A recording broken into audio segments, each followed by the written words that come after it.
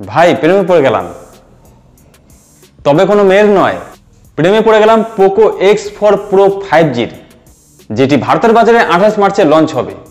এবং কেন Poco X four Pro five G এই ফোনটির আমি প্রেমে পড়ে গেলাম, তার অনেক কারণ আছে। বর্তমানে এই ফোনটির সমস্ত ফিচার্স আমাদের সামনে চলে এসেছে। আর সত্যি বলছি, এই সমস্ত ফিচার্সগুলি তুমি যদি জেনে যাও, তাহলে তুমিও এর প্রেমে পড়তে বাধ্য। আর সেই ফিচার্সগুলি আমরা জেনে নেব আজকের এই ভিডিওতে। তো বন্ধুরা, তোমরা দেখছিলে টেকটিস বাংলা আমি দীপঙ্কর আর সমালোচনা করে আজকের ভিডিওটি শুরু করছি।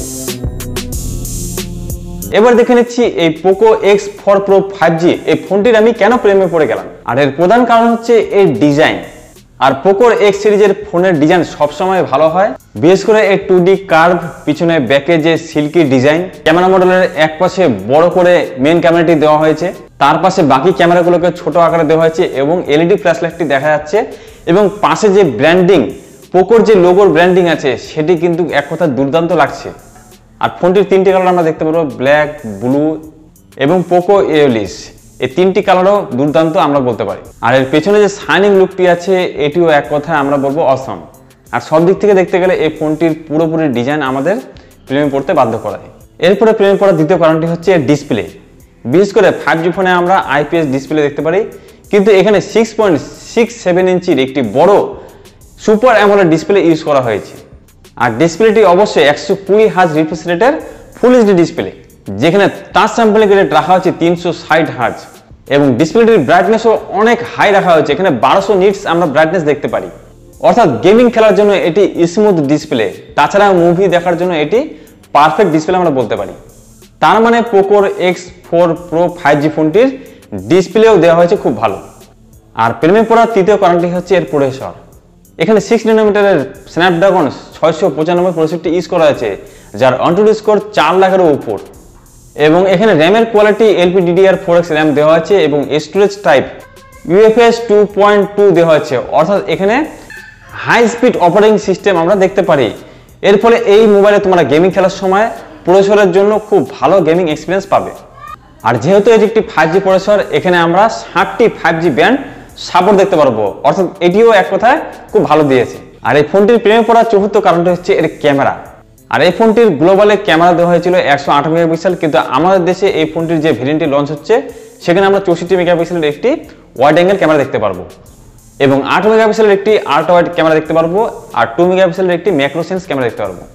এবং ফ্রন্টে ষোলো মেগাপিক্সেলের একটি হাই রেজলিউশনের সেলফি ক্যামেরা দেখতে পারি। আর এই ক্যামেরাতে আমরা সোনির সেন্সার দেখতে পারি। এবং ক্যামেরাতে এইচডিআর টেন প্লাস সাপোর্ট দেওয়া হয়েছে। অর্থাৎ এক কথায় বলতে গেলে Poco X four Pro five জির ক্যামেরাটি হবে অসাধারণ। আর এই ফোনটির প্রেমে পড়ার পঞ্চম কারণ হচ্ছে এর ব্যাটারি সেটআপ এখানে পাঁচ হাজার এমএচের আমরা ব্যাটারি দেখতে পারব এবং সিক্সটি সেভেন ওয়াটের একটি সুপার চার্জিং সিস্টেম দেওয়া হয়েছে। এর ফলে তোমার মোবাইলটি মাত্র তিরিশ মিনিটে ফুল চার্জ হয়ে যাবে। এবং এই ফোনটি অ্যান্ড্রয়েড ইলেভেনে রানিং করবে। এখানে অ্যান্ড্রয়েড টুয়েলভ দেওয়া হয়নি। এটি একটু খারাপ পয়েন্ট আমি বলতে পারি। তবে এখানে কাস্টমাইজ ইউআই একটু বেটার দেওয়া হয়েছে। এখানে আমরা মি ইউআই থার্টিন দেখতে পাচ্ছি তার মানে এখানে সফটওয়্যার এক্সপিরিয়েন্সই হবে। এক কথা দুর্দান্ত। তো এই ফোনটির ক্যামেরা সেট এর ব্যাটারি সেট এর প্রসেসর এর ডিসপ্লে এক কথায় সব পারফেক্ট দেওয়া হয়েছে এবং এগুলো দেখার পর আমি সত্যি প্রেমে পড়তে বাধ্য। তো আমি তো প্রেমে পড়তে বাধ্য হয়েছি। তোমরা কি এর ফিচার্স দেখে প্রেমে পড়তে বাধ্য হয়েছো? অবশ্যই কমেন্ট করে জানাবে। এবং এর প্রাইস এখন আমি বলছি না, কারণ কি এর প্রাইস এখনও এই ভিডিও বানানোর পর্যন্ত রিভিল করা হয়নি।